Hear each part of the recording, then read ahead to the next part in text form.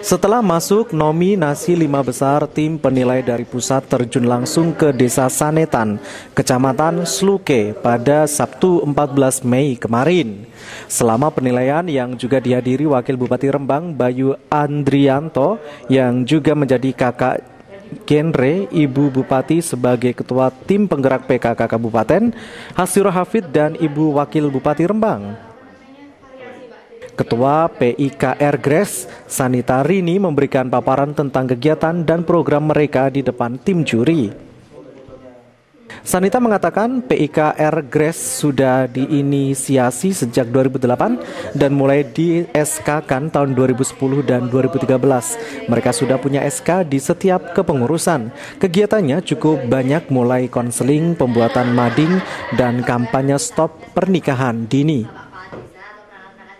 Terbentuknya PIKR Gres karena tahun 2006 ada 20 kasus anak menikah di usia 15 hingga 16 tahun di desanya. Hal itu menjadi motivasi mereka bersama masyarakat, pemerintah desa dan pemerintah kabupaten membentuk PIKR Gres, salah satu tim penilai dari pusat yang juga menjabat Kasubdit Pengembangan Program Bina Ketahanan Remaja BKKN, Dr. Andes Muhammad Edi Muin menuturkan PIKR Gres akan bersaing dengan empat provinsi lain di antara Yogyakarta, Jawa Timur, NTB, dan Kalimantan Timur. Kriteria penilaian melihat aspek bagaimana dukungan stakeholder, yang kedua bagaimana aktivitas dan kreativitas remaja dalam melakukan kegiatan ini. Terus terang PIK ini tidak memiliki sumber dana termasuk bagaimana jiwa entrepreneurnya. Diraih PIKR Gres Sanetan, Harapannya bisa mendapat hasil yang terbaik dan bisa menjadi pemacu bagi anak-anak di daerah lain untuk kegiatan serupa.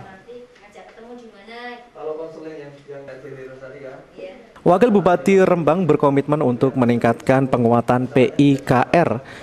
Instansi terkait dalam hal ini BPMPKB diminta untuk lebih memperhatikan keberadaan anak-anak yang menangani PIKR.